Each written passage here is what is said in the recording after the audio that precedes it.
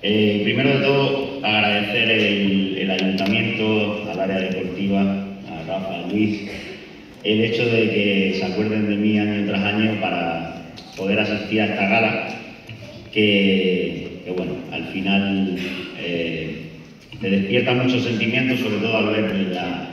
el brillo en los ojos de esos chicos que, que comienzan con, con, mucha ilusión a practicar deporte.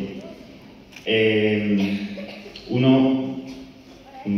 sabe que vive en, un pueblo bonito y se siente orgulloso, pero es más consciente de ello cuando, cuando vive fuera. Y para mí pues es un orgullo y una responsabilidad el, el hecho de, este nombramiento como embajador. Y, bueno, al final, como compañeros también han dicho, al muñeca es deporte, eh, hay una cantera enorme, al muñeca es ilusión y lo podemos ver desde desde los más pequeños hasta Carlos Rodríguez que nos ha hecho vibrar este verano desde nuestro sofá.